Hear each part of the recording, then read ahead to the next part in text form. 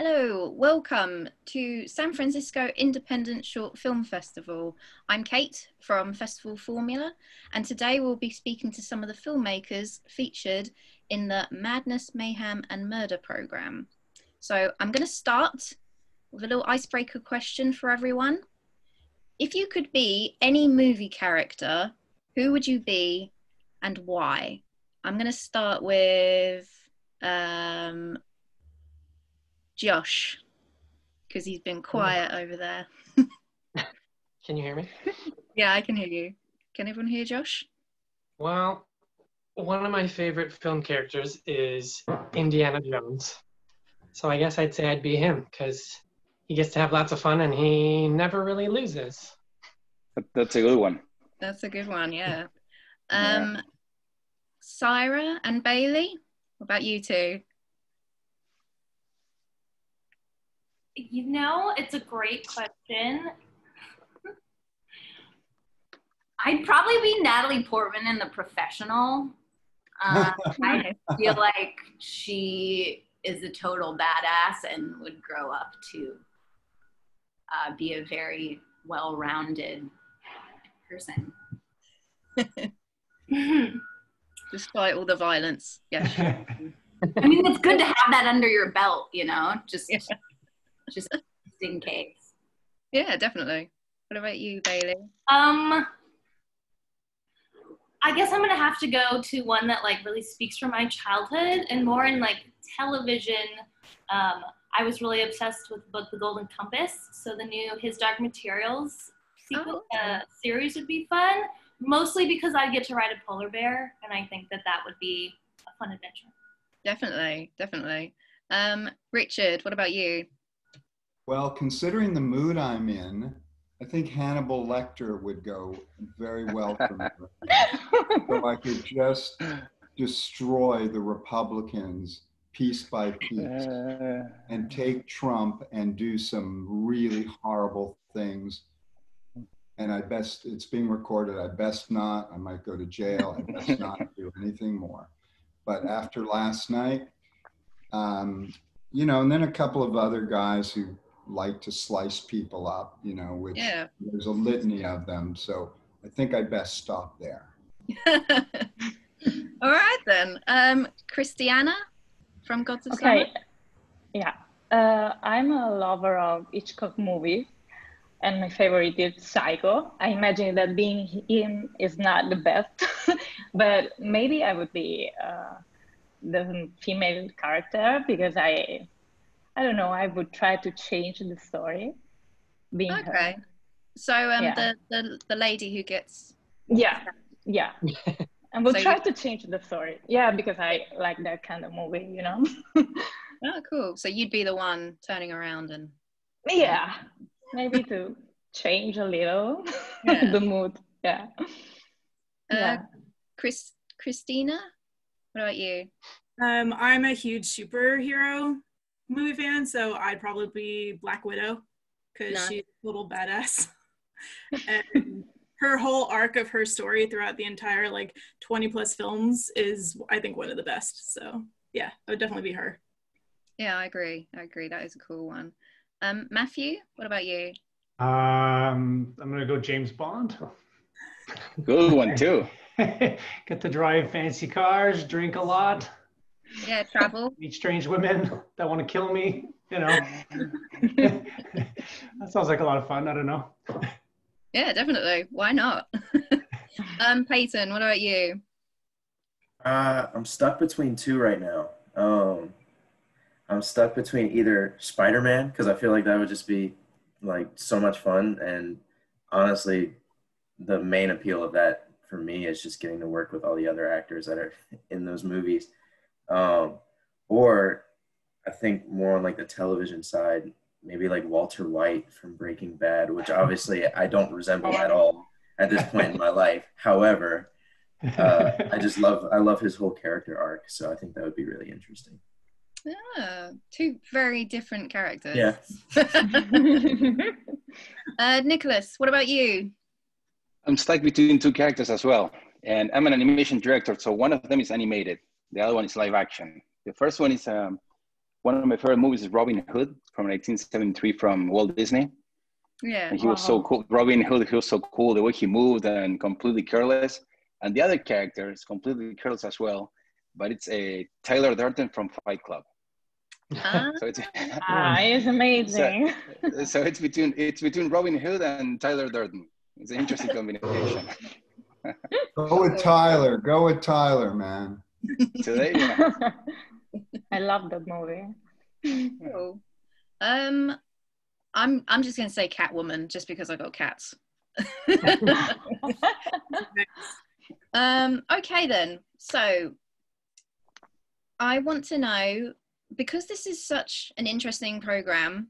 Um, nobody has like a film that has one specific genre. That's what I found so interesting about all these films.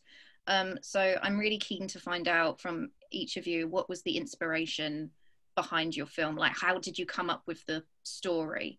Um, I'm going to start with Syra and Bailey because I can only imagine what the inspiration was. Um, so we originally, I don't, I don't, that we originally made the film for a 48 hour film project. Yeah. don't how many of you are familiar with that, but uh, you basically are given a genre um, to do on like a Friday night, and you have to turn in the film by Sunday.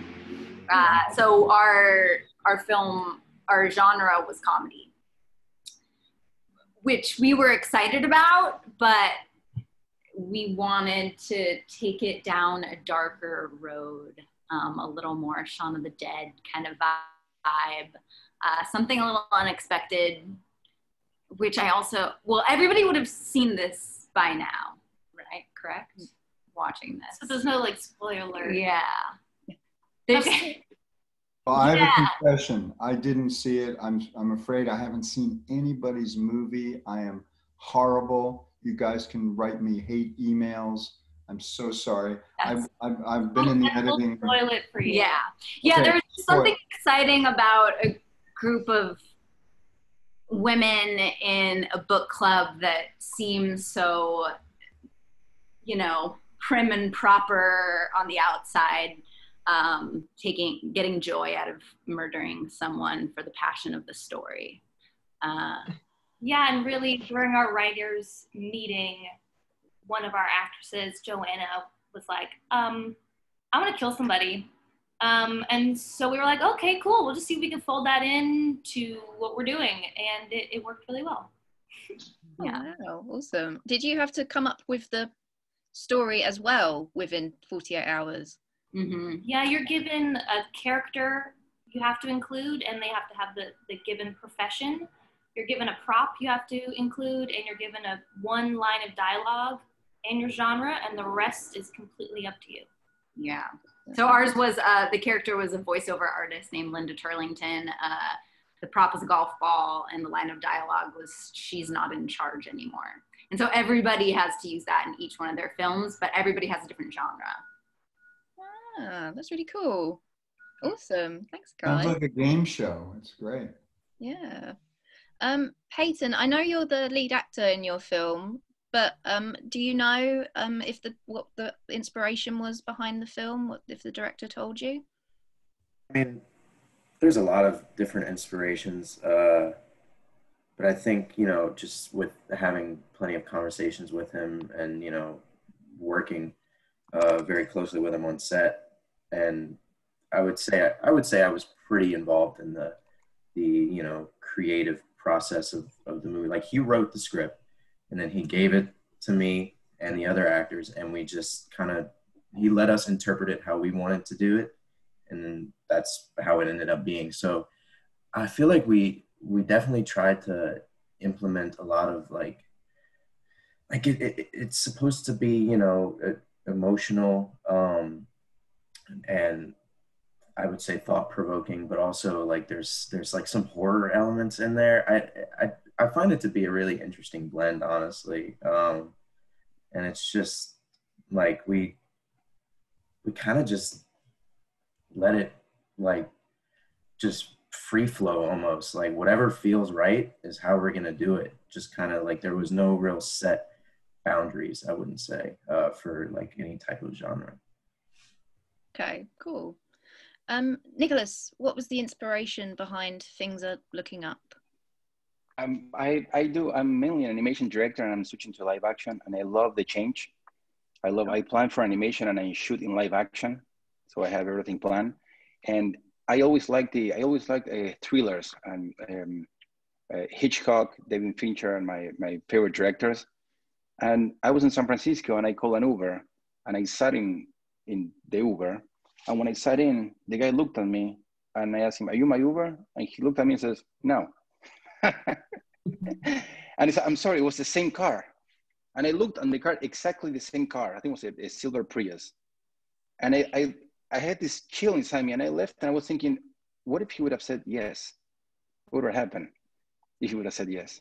So that's how I got the, uh, the, the whole story. And then he goes in, into a very dark, dark uh, twist, of course.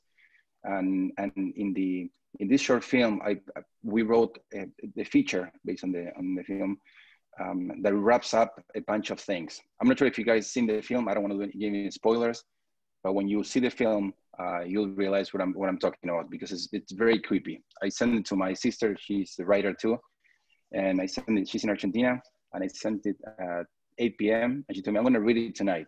And the next day, told me I, I couldn't fall asleep all the nightmares you gave me. I said, well, it works. it works. yeah. yeah, it definitely, it's definitely a creepy piece. So you you used yeah. to be you you're an animator. This is your first time doing a, a live. Yeah, oh, this year I finished. It's it's my fourth. Uh, we've I finished my fourth animated film, which is called On Off, and it's premiering in LA Short Fest on um, this weekend, the fifth actually. Cool. And the, the live action is the first one that we finished. Um, we finished in, in last December. And I remember we are trying to finish on time, and then COVID hit. All of this, and you're a teacher. yeah. And I love teaching too. So I try to juggle everything. Oh, cool. Wow. Jack of all trades. Yeah. um, Josh yes. and Christina, what is the inspiration behind? I mean, I, I gathered it was filmed during um, the lockdown. I don't. Is the lockdown still happening in the states, or is it? Yes, some places. Yeah. But we're in Los Angeles, so it's definitely still happening here. Oh God. Um, I actually work as, as an accountant outside of filmmaking. So when we started working from home in March, we had weekly conference calls, and I was trying to think of some type of project that I could do while stuck at home with some of my friends. And that's kind of where the idea came from. Um, so it's very much inspired by my job. Um, the other thing is I grew up with my parents really like murder mysteries and Agatha Christie. So I thought it'd be a fun mix to throw in like a classic whodunit style in the whole Zoom meeting setting yeah. and then have everybody shoot all their stuff by themselves and I would just have fun editing it all together. was was it fun editing it all together or it was a lot of work. I should probably have waited till everybody sent me their stuff and then do it. But every time I'd get somebody's footage, I'd get all excited. So then I'd fit, fit all that in. And then I'd have to re edit everything again when a new person sent me stuff. So it took a lot longer, but I mean, I had the time. So I guess it was fine. Awesome. Well done. Congratulations. Um, Christina, do you have anything to add to that or? Um, Josh is is I've worked with him on a couple of projects now, and he's the type of director that just lets us actors do what we want, basically, with a little bit of direction. So a lot of the stuff that I did for my character, he didn't even know about until I told him afterwards. um, especially like my ending and and everything like that. He didn't know like the degrees and levels that I did for my character, which was which was pretty awesome because I surprised him as as well as all the other the actors and stuff. But yeah, it was really fun and it was different being remote because you don't have those other mm-hmm. actors to like go off of and and stuff. But this is this is the day and age of where it's everything's done remotely now. So it was nice to be able to do that, especially early in the quarantine. Okay. Cool. I think with all the restrictions, it's allowed people to possibly think more creatively and maybe yeah. even be more efficient with budgets as well. As boring as talking about budgets are, I'm not going to do that. Don't worry. But it's for independent filmmakers that could be quite an exciting prospect. Yeah, you definitely have to get creative. Think outside the box. Which you know, being an accountant, Josh, that's probably quite helpful. um, Matthew, what's the inspiration behind First Lesson? Um, kind of road rage. um, it was actually actually it was a this place where um where I work where I used to work at Lucasfilm, and on the way home, um, there's a four-way stop, and there's always people getting really really upset. And somebody was screaming one night, and I was like, oh my goodness, like this is kind of nuts. And I kind of thought like, what if this guy could act out what you know his emotion right now, just on the spot, just go nuts. I think Richard can relate to that. but like, and then and then it's almost like I don't know if you guys have seen the film, but there's a there's a kind of a parallel universe where people get to hash out their their differences. They kind of get a second go at the argument, and and it kind of spun from there. And and then I live at I got to shoot right in front of my house, and there's this weird intersection where people get confused about the bike path and the light, and people scream at each other and honk and go completely ballistic. So I kind of started from that and I've worked in visual effects for a long, long time, and so my brain kind of works that way, and everything kind of gets, I guess, whittled down to visual effects and these parallel worlds, and it's always something that I've loved is these kind of weird, strange places that you can take characters and kind of, kind of explore. Um, I guess not social issues, but like road rage, I wouldn't say is a social issue. I think it's just anger or fears or whatever, and and that's kind of how I ended up in that world was actually watching people be angry. Road, road rage could be a social issue issue because it's like a byproduct of capitalism almost. So- Yeah, and just stress and the the things people are dealing with at home, and and and there and one of the characters is essentially that. And it was interesting because at first I thought, what if this world existed where you could kill someone, and then you get to go somewhere, and then you work it out. And I was like, well, people just start being nice to each other. And then I spoke to my cinematographer, and I he read the script, and he was like. Can you imagine how awful it would be to work to live in a world like that? Everyone would be nervous and scared and always stressed and tense. And I was like, oh, I didn't think of it that way. And then I kind of adjusted the script accordingly. And and I just thought that was interesting because people are living that way right now, where they're just always tense because of money, because of whatever situation's going on in their lives. And then they get behind the wheel of their car or whatever it may be, and they just blow up. And and it does happen. And Oh. anyways, so that that was kind of the the seed for my film. That's really interesting. I Hmm. like I'm like hearing all these. It's always like one little thing that sparks off uh, the inspiration behind these short films. I'm always really fascinated to find out what they are. Um, Richard, what's Um, so my wife um, actually wrote this film. We kind of co-wrote it, but my wife wrote the film. I, I've been very lucky and fortunate. I um, about a year and a half ago, um, I found some investors that were willing to put some money into short content. You know, with everything online and just these various platforms. And you guys are familiar with this this Katzenberg thing that has failed called Quibi, you know, the quick the Quibi thing. And so It, fa- oh, it failed? yeah, it's failed, thank God. Yeah, it's failed. Yeah. Oh, I didn't know that. He's trying they're trying to sell it, yeah, which I was uh I I had a I had a tentative deal there and they blew me off for Spielberg, so I was like upset. Like Zelnick or Spielberg, you know what I mean? But these 10 minute movies, you know, I think they made big mistakes. They should have taken unknown filmmakers or, you know, I've done a few things in the feature world and they should have let guys like us come in and do it instead of the Guillermo del Toros and Spielbergs and all the big. Oh, I, I So, completely, Yeah. I completely misunderstood. I thought it was for new, for new, uh, new filmmakers, but it was. No, no, it was that's what everybody was hopeful of, that new filmmakers or, or people who aren't famous and big names. Um, they actually wrote my manager a letter saying, well, he hasn't won an Oscar, so we're going with, you know, I mean, it's just disgusting. Um, another thing that I can be angry about. Um, anyway, um, Hannibal Lecter all the way, right?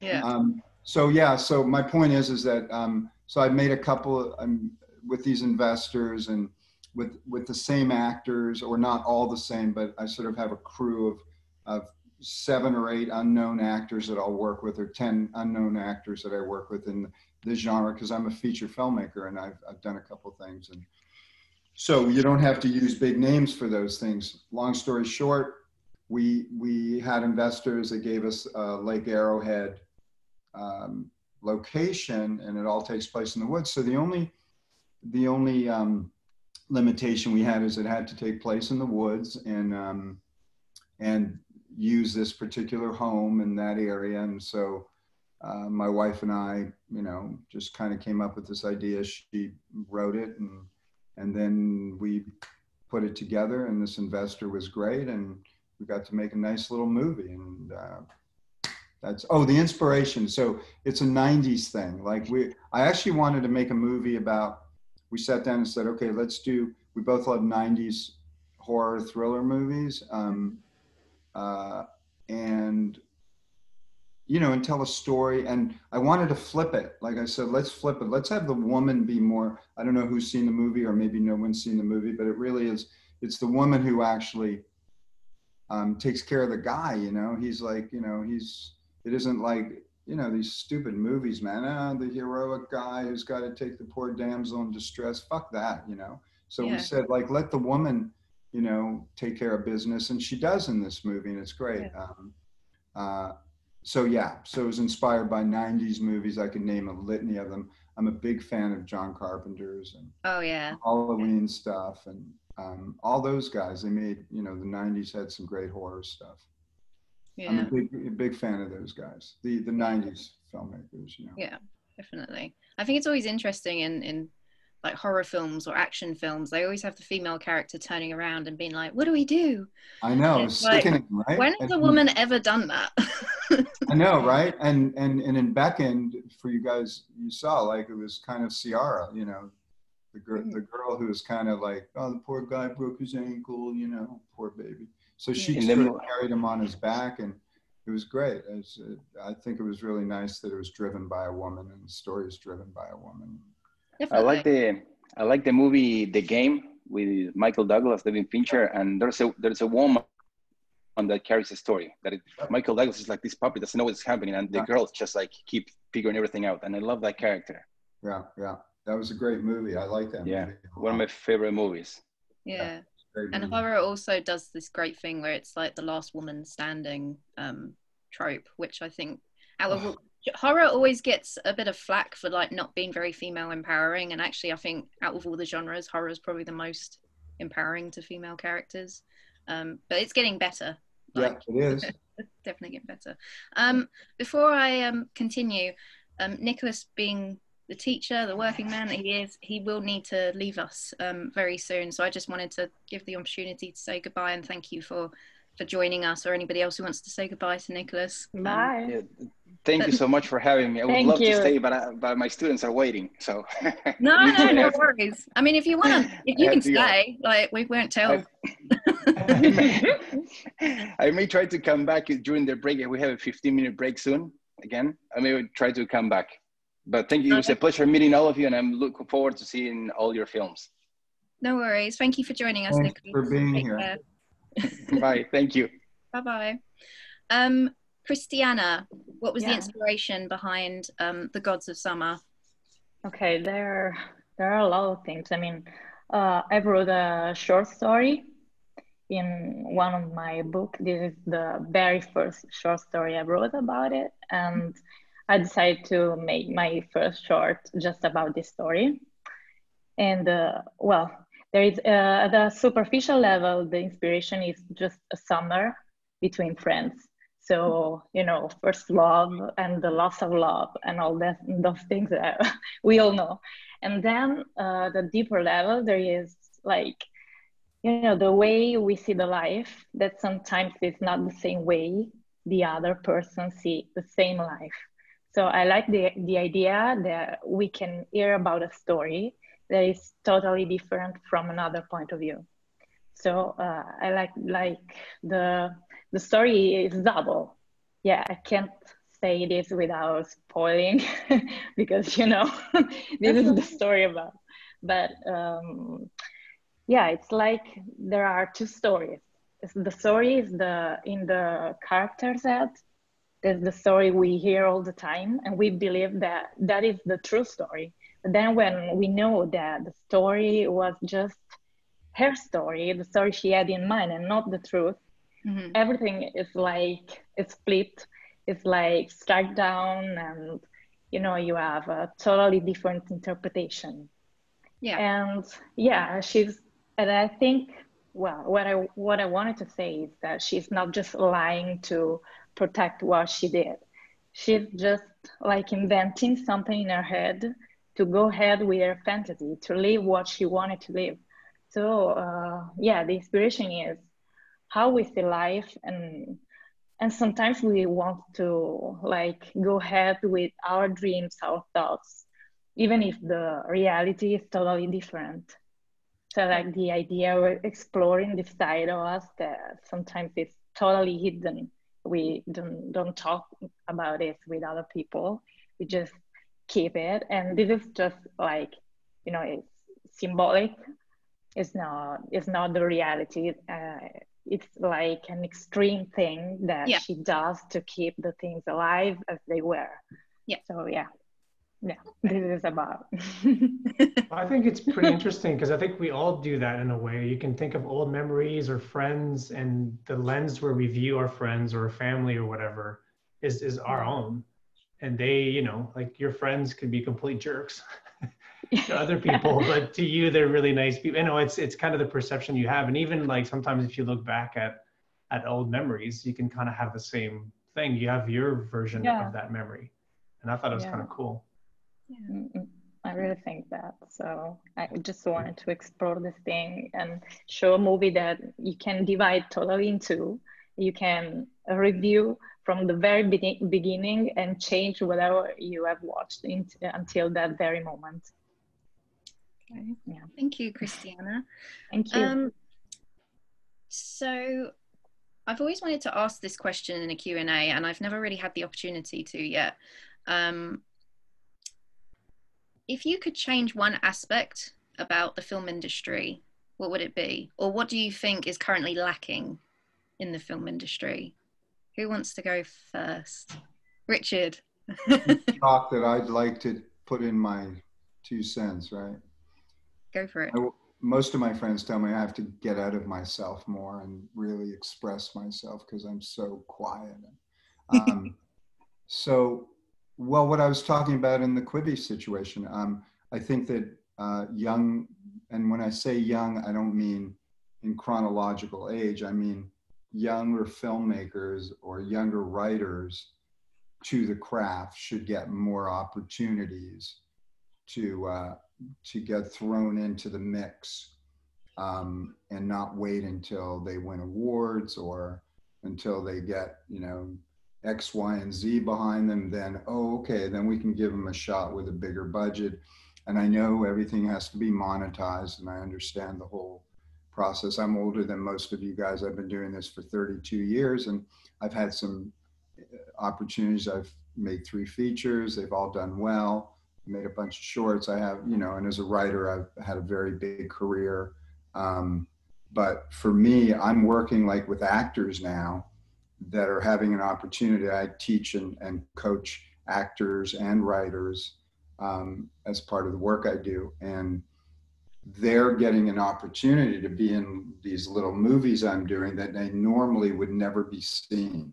They just, just wouldn't get the chance. Even actors like Peyton, I'm sure you get that experience. Even if you get a shot at auditioning for, you know, a decent budget movie or a TV show, there's five other name people that they have in the in the wings. So actors get very few chances, and likewise for writers, you know, their scripts are sitting on a shelf somewhere because they have to know someone. You know, I was repped at William Morris for 12 years, and uh, the reason I got seen be, is because I was repped by William Morris. So, but people who don't get that chance, then they're they're just over overlooked, you know. And um, and even film festivals, you know, oftentimes I'll bet you your films are all great movies, and they won't make it to Sundance or they won't make it to South by Southwest because you don't you're not don't have a director's name and you don't have an actor in there that has some clout or a producer that can make mm. a phone call to the people that run the festival. And I find that reprehensible. I find it just a horrible system that has to change.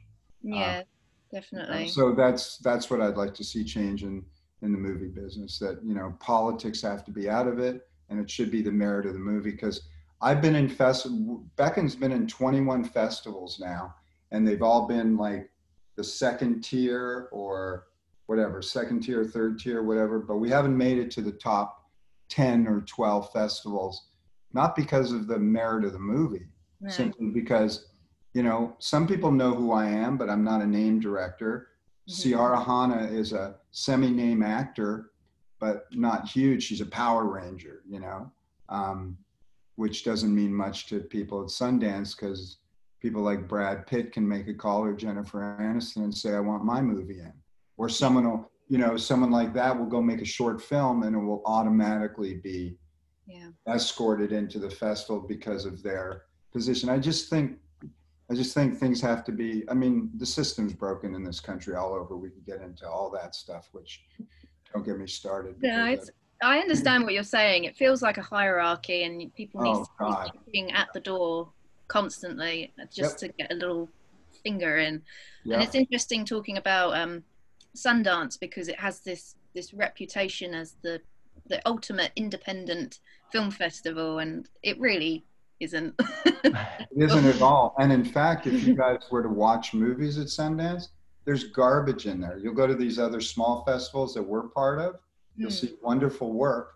Go to Sundance, you'll see crap, but because so and so directed it, who's a famous actor, or so and so produced it, and so they're in. Because I, I don't want to go on record because we're being recorded, but you know, one of one of the big agents called on my behalf for a feature I did, tried to get me in, you know, to to a to Sundance, and said, "Don't worry, we'll take care of it." It didn't get in ultimately, but it's the kind of horseshit you see every day. It's just terrible. It's just terrible. Yeah. So anyway, I'm done. I've, I've come, I'm represent the smaller film festivals. I say they they look after filmmakers. Uh, anybody else? Um, what's the film industry? Peyton? Uh, yeah, I was actually. I mean, I'm pretty much completely with Richard on this one. I think there's just a lot of recycled big name actors that are just used over and over and over again, and no one else really gets a chance all that much. And uh, you know, a lot of them are just uh, they're in, they do a bunch of movies, and then they're out, and then it's the next big person, and like there's no there's no chance for the people that are just you know kind of kind of coming up, I guess. Uh, and it, it's you really have to, I think, just get really lucky to to get in that position that they're in. Uh, and it's no, you know, I wouldn't like I'm not bashing them. I don't think it's the actor's fault. They mm-hmm. most of them they just want to work. They're happy to work. Uh, yeah. But um, you know, it's just it's just one of those things that I definitely think needs to change. How it changes, I I don't know, but um. We have to do our own content. That's the way it goes. Like I tell actor friends of mine all the time. Sorry to interrupt, but find money. Go, you know, get a get a you know get a boy toy, man. Get some money. Get a, you know, whatever. Just whatever, man. Sell your body. Just get money and go make movies. And whatever you have, whatever you have to do, you know. And I say that to men, you know, too. I mean, whatever you need to do to get your money to make your own content, because at this point, people can really. I mean, I'm working with some people now about monetizing a short film, and I'm going to get all your movies on the platform because you know to monetize the short form because I really think there's a place for it now in in online uh, entertainment. There's a huge, huge. My kids, I have two kids that they won't watch something that's you know the well TikTok, right? TikTok, what 14 seconds, but I'm trying to get them to watch something more than you know 14 seconds but short form is is coming is is in guys it's, yeah it's, definitely um bailey i know you wanted to say something yeah, to go back to your question about what do we think the industry is missing was actually um, something that it was like the seed that was the inspiration for our film. Um, we there were originally five women, and we all wanted to get together and create something. And while we were in the brainstorming process of this, like before the 48 Hour Film Festival was even on the horizon for us, we said, well, why not just have five female actors? Why not have a whole female crew? And we Syra like went to work and it is not easy to put together a full crew of women filmmakers. We were told time and time again, oh, you're not going to find a woman in sound or you're not going to find a female cinematographer. And we refused to take no for an example. I mean, for we, we just wouldn't take it. do you want to talk about your process? Yeah, we, uh, it was a lot of production companies that we were talking with that were like, oh yeah, we want to do a project and have an all female crew. And they're like, good luck with that. You're in the Bay Area. Like we, we have a film community there. It's, it's smaller, but uh, it exists. And everyone said, good luck. And we were like, okay, well, challenge accepted. And in the process, we found um, so many talented people. And I just feel like there's a lot of commercial work uh, in the Bay Area specifically, and all the crews are 90% white males. Mm-hmm. And they just rehire each other again and again and again and, and they're great and I love them and, and all that jazz.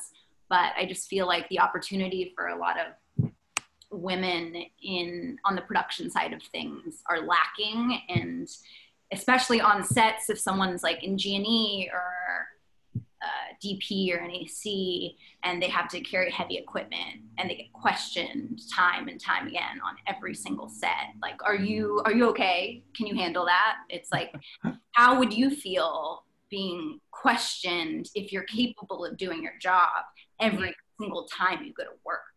Yeah. Um, and the harmony that we had on our set of 16 women was like just fully supportive it was like everybody we'd never worked together before. So we were like anticipating each other's needs um, just it like left this open space for creativity and like no power trips at all. And from this amount of sets mm-hmm. we've been on it was nothing like we'd ever experienced before. So uh, that also inspired us to make this we we're making a directory for women on the production side uh, okay. in the Bay Area specifically, uh, San Francisco, Oakland, um, for women. And you can go on, it's called Soft Hold Collective. Uh, and you can go on in all these different departments. Uh, you can find women to like diversify your crew. Mm. awesome. So we felt that was, I think, yeah, our efforts in trying to help change what we need. Yeah, because it, it shouldn't have been so hard for us to find that list of people. And then once we had it, we were like, this is something that should be shared to as many people as possible so that no one is ever told, oh, good luck finding an all female crew again. That it's like, I want to do an all female crew. And it's like, cool, here's a directory for that. Yeah. Or just like diversify. So yeah, softholdcollective.com. Thank you. That's, that's awesome. I'm, that's awesome, guys.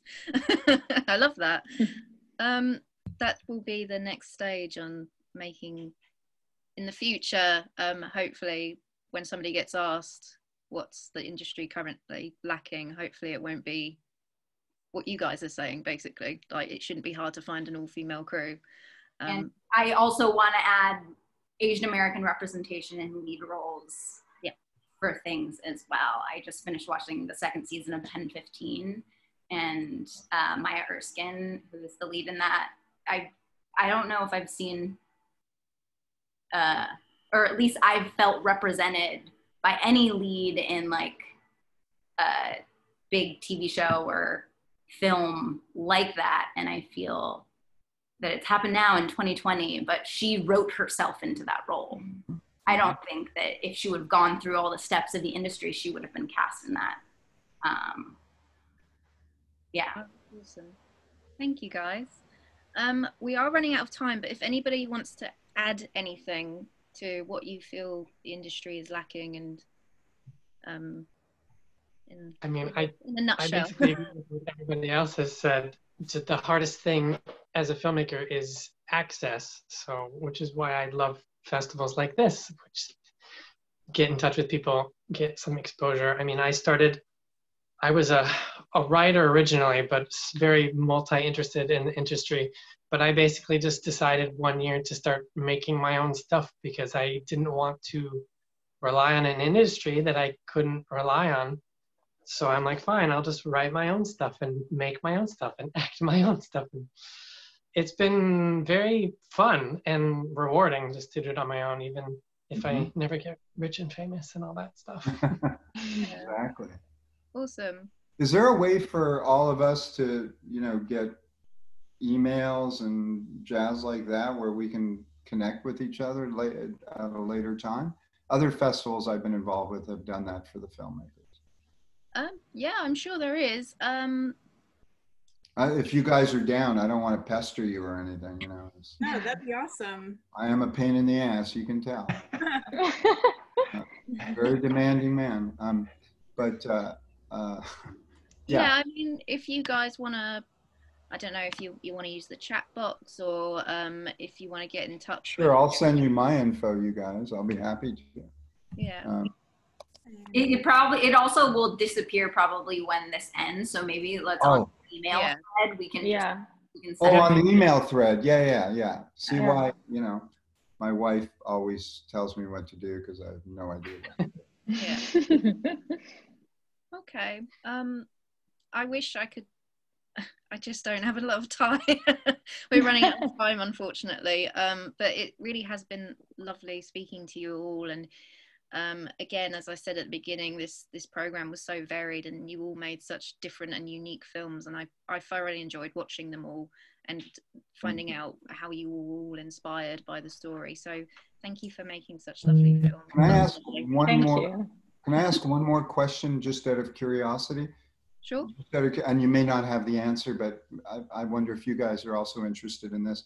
I'm always curious to know how many movies are submitted to how many the ratio to who gets in in these smaller festivals. It is is it roughly around a thousand films, and then is it roughly 700, 12? You know, the bigger festivals get like 4,000 submissions. I'm just curious about this level of festival.